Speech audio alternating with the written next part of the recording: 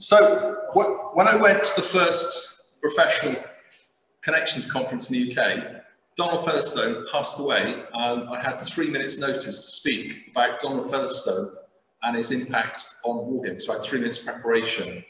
And that made me really think about the connection between professional and hobby wargaming. I think it's been there in plain sight and it's contributed vastly to the art and science of professional wargaming. Now, the importance of professional wargaming has certainly been on the rise in recent years, as demonstrated by a whole series of handbooks which have been produced.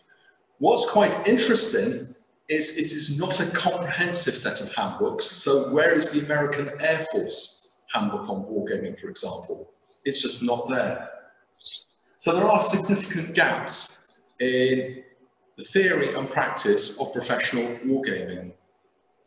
Now, other countries are desperately trying to develop a wargaming capacity. Now, why?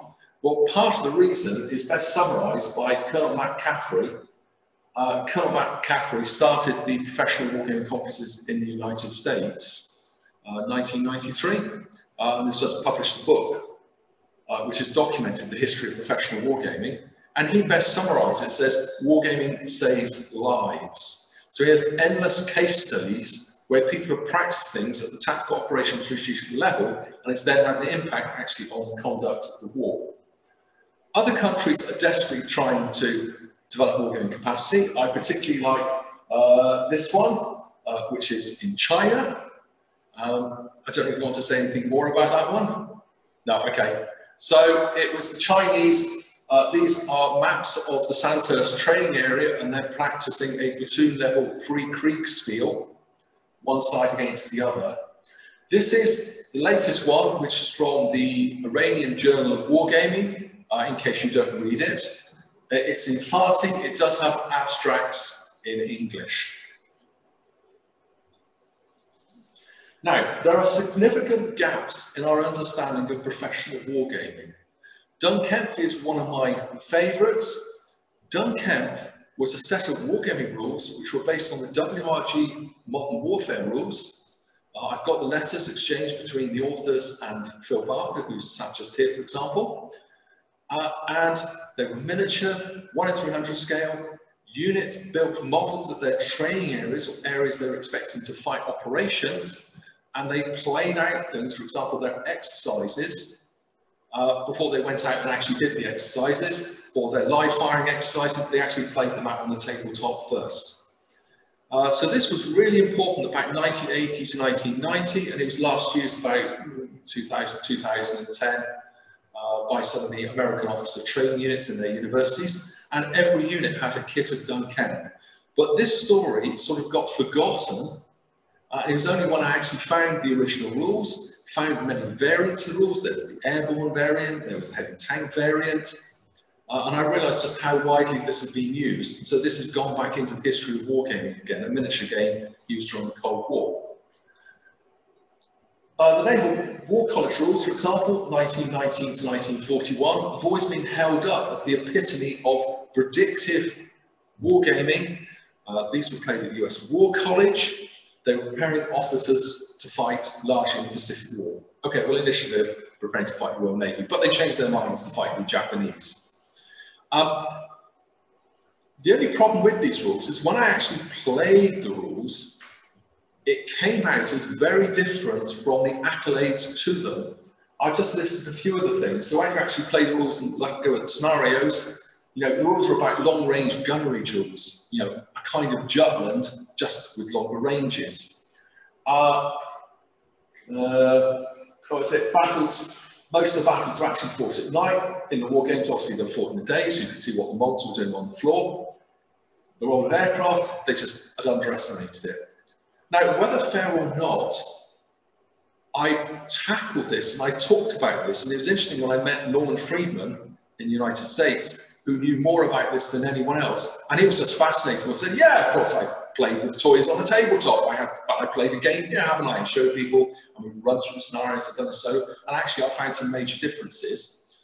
But I still support the contention, although they had many of the details wrong, the key thing is it trained flexibility of mind. So when the Pacific War turned out to be different from what they were used to, they were the, used to the idea of some changing rules and they adapted more quickly than the Japanese to the changing conditions of war. Now, the scale of hobby wargaming to professional wargaming, the scale of professional wargaming is so tiny, it is ridiculous. Um, I just quite like Games Workshop was valued at a mere £1 billion in 2018. So actually it's now bigger than Marks and Spencer's. Now that is the major British miniature wargaming company. However, there are also very large American board gaming companies and the Euro gaming companies and the computer game companies. So actually professional wargaming is really, really tiny. And the hobby sector involves many different things, uh, apart from miniature games and board games, computer games and role-playing games and party games and murder mystery games. Whether you consider LR, LARPing as part of it, I don't know. But it, the hobby is absolutely huge. Now, there are connections between the two branches of wargaming, but they're largely unreported. So Matt Caffrey's book, which is the most comprehensive account you could possibly imagine of professional wargaming, it's actually staggering huge. Who's read it? Yeah. Yeah, I've read most of it. Um, I haven't read it. Okay, because it's everything, including the kitchen sink about professional wargaming, everything you found out was just popped in there. Um, hobby games are mentioned four times in this 479 pages. Now, Graham Longley Brown's book, which is the Handbook of Professional Wargaming, which is if you're in professional wargaming and you want a, you know, someone who's had decades of experience in running exercise things for the army, that's the book to go to, really super detailed. Well, uh, 125,000 words, uh, 395 of those words are devoted to hobby wargaming. Oh, and I wrote those. Um, by the way, the word hobby is used elsewhere in the book, but there's only 400 odd words about hobby wargaming. So I contend that the impact of hobby wargaming on professional wargaming has been underreported significantly. Now, the emphasis on professional wargaming has changed over time. Uh, Peter Perla refers to this as a sine wave with peaks and troughs. I supported this because I was the editor for the second edition, so I thought, yes, Johnny good chap, he's bound to be right. Um, However, I'm starting to see that some of the troughs, it's because there are gaps in our understanding. We didn't realize what was being done. So in 1979, there were 31 professional war games being used in the United States and Britain, and that includes one in France. So of our NATO allies, there was one war game going on, and that's the French. Um, First Battle, for example, I only discovered First Battle was a divisional level war game from the Cold War. The Chinese, by the way, the Chinese mob military are absolutely fascinated by this. Maybe they're the only people actually with divisions any longer. Uh, and I thought, yeah, this was an interesting novelty. It's very well explained how it's done. But on the US Connections Conference, was it just over a week ago, they had a US general was saying how First Battle was critical and every single United States division tested its plans using the first battle war game, edited its plans, and went round a cycle going round and round and round using this war game. So I'm starting to suspect when there's some of the troughs of wargaming, it's because we just don't know actually there was still a lot of gaming going on. But maybe in 10 years time, we'll be able to say. Now, why did professional wargaming fail to gain traction until very recently? It's had its ups and downs. Well, first of all, wargaming history has been obscure and an incomplete narrative. So if you said to someone in the US Marine Corps, great, let's look at the Vietnam War Games, they'd look at you and say, what are you talking about? We haven't got any Vietnam War Games. Well, actually, there are some. My publications have found some, the Marine Corps have found some others. Some they found and properly classified them because obviously the thought of Wargaming Rules 1968 Amphibious Land in Vietnam is clearly a secret subject, um, but they are slowly emerging. but it's really it's been incomplete. So part of the reason professional wargaming has lost public traction, as in at the senior ranks, they don't think it's important because they can't look back on history and say, pull off the shelf, let's look at the war games which are used on each generation of our military. There's been a lack of training courses. This is just starting to change. Wars in the United States do a really good training course. Um, I contribute to one hour because they need someone to talk over the lunchtime while they're eating their sandwiches. Um, but they are trying attempting to train people in the basics of wargaming. There's been few conferences of wargaming. US, US Connection Conference started in 1993 and carried on because Matt Caffrey, the major in the US Air Force, was given the order and it was never rescinded. So it's carried on. Um, but I actually say my wargaming practice only really started to disseminate around the Western world when we actually had the UK Wargaming Conference in 2013. Um, maybe because our conference was just open, maybe Phil Sabin organised it better, I don't know. But to me, that was the real takeoff point. There's also been a cult of personality, which is, especially in America, oh, no, no, no, can't do war games because this person's not available. No, no, no, there's someone from the Central Naval Analysis. If you don't have that person, you cannot possibly run a war game about ships, can you? Because there's no one else in the Western world who knows anything about wargaming. So there has been a real cult personality. And also, some of the war games have about future wars are full of errors uh, this one, for example, Joe Miranda, Joe Miranda, Tom and I were just talking about him only yesterday. Uh, he's been one of the big game designers uh, of the last 30 years, huge number of games. So this one about the Ukraine, for example, it was in 2003, a decade before the actual conflict. Um, many interesting features. They actually all back was wrong. I mean, they had Russia invading with nine divisions. Um, oh, and I quite like this one. NATO responded with armoured divisions. Of course, this is completely ridiculous. And the professional war games, and I've done a presentation about this, have just as many errors in them about future wars. And this could be used by the detractors of wargaming. They pick at a set of rules or a war game say, well, you know? You've got one thing wrong, therefore the other 99 things clearly must be wrong as well. So I'm going to try and demonstrate that hobby games actually inform the professional or development of professional practice. Now, the first game with political message was actually in 1888. Lieutenant Henry Chamberlain. England was potentially vulnerable to invasion. At least that's what they thought at the time, uh, if anyone was actually interested, as in invading. Uh, there's the game board just there. I quite like the optional channel tunnel feature. I couldn't quite decide whether we were saying we should have a channel tunnel or we shouldn't have a channel tunnel because it could make us more vulnerable to invasion. You know, lots of French people could sneak onto the trains and they could put divisions through and we would notice. And basically the enemy land in the ports and then you mobilise troops to take them on. So that was the first game with a political message. Interestingly enough, you can't say it really changed the world but it was at the time when the Victorians built large numbers of forts, they had local militias, they built defensive features. And this game was merely a part of that message England is invulnerable to invasion. Now, Bella.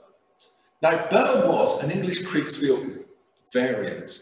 So we have the original Kriegspiel, it was continually developed uh, for example, the War Office had a version of it, obviously used just for the Boer War.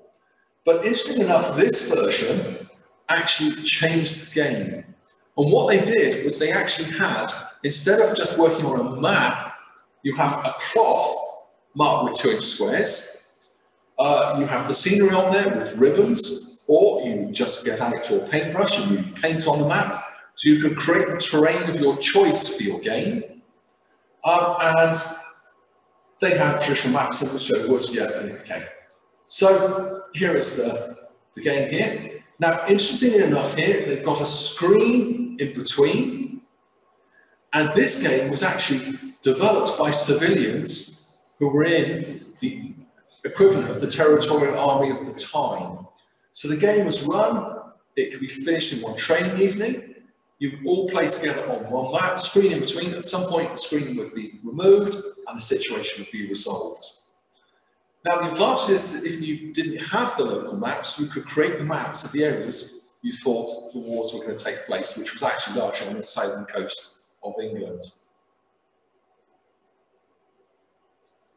Now, Polemos, 1883, this is a challenge to the view that the first commercial board war game was Tactics in about 1954, because this game went to three editions. It's a war game, absolutely.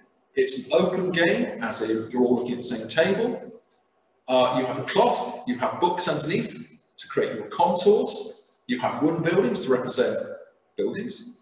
Uh, you have 30 millimeter figures, which is visualization. The hidden strength of it is your, the unit strength is actually hidden, so you allocate that at the start of the game, so your opponent, opponent doesn't know uh, with your battalions how strong or how many hits they can actually take. So that was a hobby game which was pushing forward what became professional gaming. Now, there are gaps in our understanding. I quite like this one. The game of old shot, I talk to people about it, I hope that someone's going to say, oh, I know what that is. 1870s? Sure, it's just a kid's game, isn't it? Hang on, roads, uh, hills, you the contour lines, uh, three crossing points, villages, a town, is that an urban area? Yeah, obviously an urban area. Um, marsh, to me, that looks like it has moving blocks on it. That is not snakes and ladders, is it? It's not drafts, it's not chess, it's a war game, isn't it? We just haven't got the rules or any of the playing pieces. Now, out there is the Victorian Board Game Collectors Club, who are trying to document and collect the mass of Victorian board games, and they are finding odd war games are popping up and they talk to me and they send me a copy of them as and when they find and identify and say, hang on, this is a war game. I particularly like, this is later one, this is World War II, and it's the SS Troopers storming the pillbox game. I quite like that one. So, the early naval games, I'm sure you all know, uh, there's three of them, but actually it was Fred Jane who took those concepts into a practical war game, and this practical war game was accepted. This is the classic illustration from the newspaper. Uh, this is actually the Portsmouth Wargaming Club. It shows officers and civilians playing, multiple games playing, umpires. Uh, anyone played the Fred Jane War game? Yeah, it's quite fun, isn't it? Bashing with the sticks, yeah, creating the holes, etc. And the umpires holding up the lights so where you hit the enemy ships. Um, interesting game, but it was civilian who actually pushed it forward. And every time we look, we started to find that the Fred Jane game was more important than we thought before. I'm hoping to publish a book. Uh, it's got the first draft, and it's about early naval, early naval, Royal Naval war games between 1900 and 1915, all from original sources, all of it unpublished material. And that will start illustrating just how important this game was. Now, there are a number of people, wargaming evangelists, who are in the hobby space who pushed on professional wargaming. This is just my random selection. Obviously, H.G. Wells. Now, with H.G. Wells, uh, obviously all of us have laid out before and played with toy cannons. It's been done at the Wargaming Development Conference many times before. Uh, absolutely, yeah, the toy houses, the cannons, what did he do? Well, he introduced abstractions and generalizations to say, let's make a playable game within an afternoon which represents warfare. So while the military were either having really complex games or saying, no, let's with the rules, we don't need that, let's get the umpires to make judgments, he was starting to go for somewhere in between. Donald Featherstone, well, what did Donald Featherstone do? His contribution was several things. Is first of all, he helped make wargaming respectable. So his book, War Games, put war games out there, and because he was a sergeant, you know, he served in World War II, that put war games, that was, you know, that was, you know, that was a veteran publishing book, and that meant a lot more than it does today. You know, a veteran publishing book is something of automatically given respect. Uh, he also based his war games or talked in his war games about war and veterans all the time. The personal accounts, I think it was Phil said this at the First Connections conference, that Don a key contribution it was full of, you know, let's read the original account and try and pick out the important things. We now call this operation analysis. And it's interesting, at the second Connections conference, I asked who considered themselves an operational analyst and how many of them had played hobby war games and had heard of Donald Featherstone, and it was every single one had played Donald Featherstone's war games and then gone on to a career as operational analyst. Now, Colonel Dupuy. So Colonel Dupuy produced a very interesting model, the quantitative judgment model. It was a mathematical model for determining combat. He produced tables of advance, attrition rates in combat, things, by the way, which we quote today. Um, they're just, yeah, they're quoted verbatim about rates for advance and things. Now, interestingly enough, actually, he had, was inspired, I believe, by hobby games. First of all, he was one of the Fletcher Pratt players. And I wonder whether the Fletcher-Pratt equation for determining the ship strength was actually what inspired him to then try and produce a model to determine land combat. But I quite like this one. This is the Operational Lethality Index for aircraft. And then I compared with Featherstone 1966 in air war games. So Don had a book, and one of the chapters was about you create a quantitative value of aircraft, and as the aircraft gets hit, it loses firepower and speed, etc. Uh, hang on, common value of aircraft weapons, total value of weapons in the aircraft, speed, speed, this thing that go into the equation, punishment factor O. From the weight of the aircraft, points for protective armour, not for the weight of the aircraft. Uh, ceiling effect factor altitude, hang on. Dupuy, I think, plagiarised Donald Featherstone. Now, of course, different people we come up with the same ideas at the same time, using the same language, but maybe hobby war games influenced through a pre. Now, James Dunnigan. Now, James Dunnigan is a living legend, like Joe Miranda. He's created more board games than you can possibly imagine. Uh, I quite like Panzerblitz, and that sold 300,000 copies. I mean, those were the days, weren't they? Oh, how much we do? Oh, let's do a 200,000 in the first print run, shall we? Uh, do you think that'll be enough? Okay, let's increase it to 300,000. Um, and he pushed forward in board gaming many of the ideas which we use today. Now, interesting enough, actually, he had a contract from the US military. Uh, it was published in 1976. Uh, well, interesting enough, actually, I suspect there was the the contract was not quite as rigid as it should have been. So he produced the game for the US military and then probably published it as a hobby game as well. The slight difference was that the, oh, there was very little difference in between the two. Now notice actually the terrain. So this is meant to be Germany. These are 100 meter hexes. Has anyone got any comments about the terrain? Remember this is Germany, West Germany? It's a bit open, isn't it? And this was because the US military edited his game for publication because they, they wanted to emphasize the effect of long-range anti-tank guided missiles, which really hedges and woods and buildings and windmills and telegraph wires, etc. You know, they just all interfere with it, don't they? All spoil it.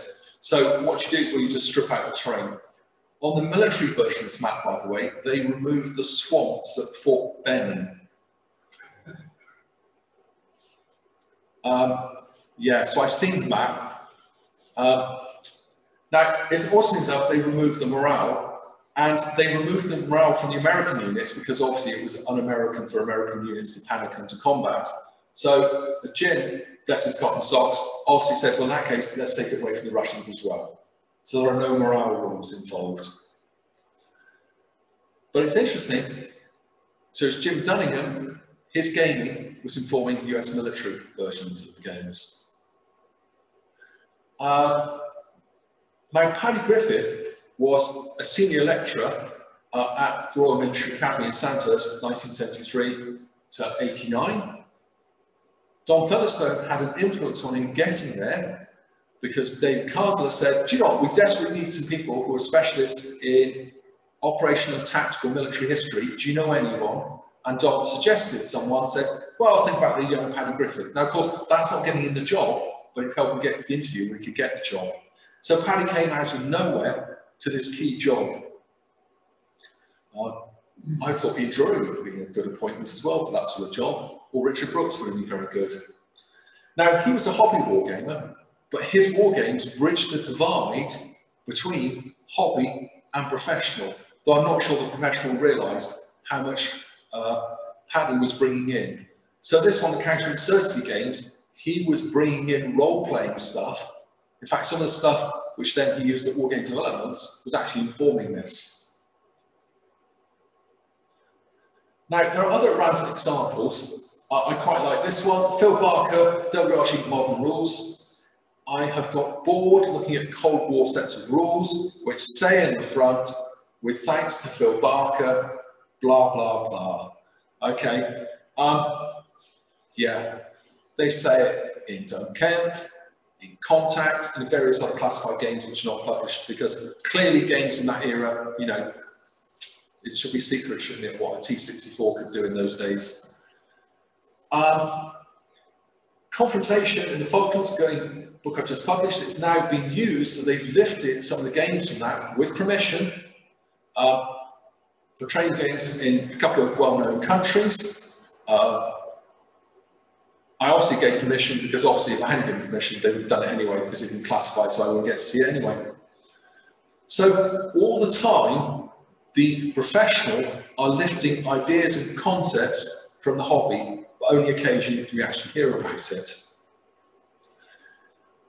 Now, some hobby games in the hobby space have contributed significantly to our development of developing the understanding of Cold War history. I quite like this example because we have one of the perpetrators is actually sat in the audience right now. So I was paying Megablitz. You never paid Megablitz. It's an operational level game, and it's all about trucks. So the key thing is to make sure you've got enough trucks going to the right place, so you've got enough supplies to keep the war going. So I, I edited the game I, I modified it slightly for the Cold War, early Cold War, and then I realized something. So I got the Russian, I got the American tank division with the trucks on the table like this, the British one like this, and then the Russian one was like this. And I thought, hang on, I've got this wrong. So I looked at source after source after source and realized prior to the Arab-Israeli war, they actually had 250 trucks per division to supply it. Uh, in 1980, by the way, they actually increased that to 1,500. So what would have happened up to the mid-1970s, maybe 1978, something like that, if the Russians had attacked, I'm sure they would have done very well, in spectacular, heroic fashion, and then within three days, they would have shot every bullet they had, every round they had, they'd have run out of fuel, the providing the fort. It would have been hopeless. So when I've raised this at professional wargaming, they all say, oh, yes, yes, we knew. Yes, we knew about this. And I say, hang on. I've looked at the journals, the academic journals from this time. None of them say, don't worry about the Russians on the Central Front because the logistic support is ridiculous. Um, yeah, no one said that at the time. And I've got the war games from the time, which is 1956, British Army war game, and there's subsequent ones. And none of them say, well, this game runs for two days, by the way, and at that point, we fall over laughing because they've run out of fuel. You know, they've got there 40 miles into Germany, and that's it. Um, so it's quite interesting that the people from that time who were internet times, yeah, yeah, of course we knew, we just, yeah, right, they just didn't publish it. So it's quite interesting that now I've seen several articles which have referenced this. They haven't mentioned Megablitz, they haven't mentioned me, but they're coming out with the same statistics, and I think I know where that came from.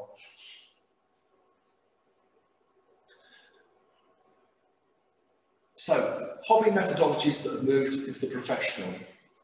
gosh, we have several people here involved as well. Matrix games, uh, confrontation analysis, and of course, cyber war games. Now, Matrix games, they were invented in the United States by Chris Engle, uh, an innovative thinker, definitely thinks laterally.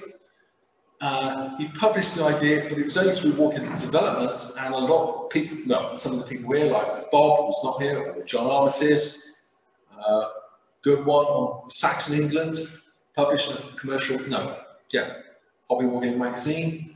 Tim Price and others helped develop Matrix games, but it was only actually when they got published have they taken off, and now Matrix games are absolutely everywhere. They're just being used all over the Western world as narrative gaming. But if you ask them where they came from, and I have asked, several Americans at the MORS conferences said, well, actually, if the Americans invented them, and clearly it was classified. It's interesting, that's very, very interesting, as you say. Yes. But I think from a WD point of view, the high watermark of Matrix games was about 20 years ago. It was, wasn't it? Yes. Uh, it was, yes. There were endless developments of it, experiments with it, with, uh, yeah, it wasn't, it was just cars everything else. But it's interesting now, they're now embedded in practice, but already the urban mythology is actually they came from North America um, they're obviously professional development. And I said, no, actually, it was hobby game development. Yeah, okay. Now, confrontation analysis. So this was a technique developed in the academic, sort of applied in the professional, disappeared because uh, one of the authors of the technique died. The general who liked the technique had the nerve to retire um, so it died, and actually it was Mike Young who resurrected this technique. And it's a way of analysing dilemmas and international confrontations. And now it is, it's out there, and now it's back. And someone called John Hanley is doing a lot of work on this in the United States. So, academic, sort of military, hobby space developed back into the professional. Now, cyber war games, uh, when Tim Price and I wrote this book about cyber war games as a, sort of a working paper, I thought, great, we'll see an avalanche of people out in the professional space who come up and say, oh, we're doing a lot better. And it turned out there was no one doing it any better. Uh, I've since published a book, The Handbook of Cyber War Games, which was a whole series of exercises done in business, in the academic world, um, and now, interestingly enough, there are professional gaming techniques in cyber which are overtaking these. So this is this is sort of an introduction. This is sort of chapter one, but there are other chapters being written now by cyber war games out there. But it's often been hindered by secrecy.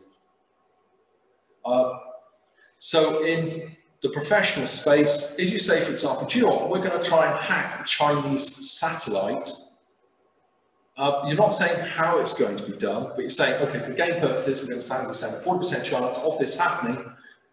No, no, the concept of you actually even hacking a Chinese satellite, that is so sensitive, we can't have that in the game. We can't talk about uh, information war operations on, in downtown Moscow to affect public opinion.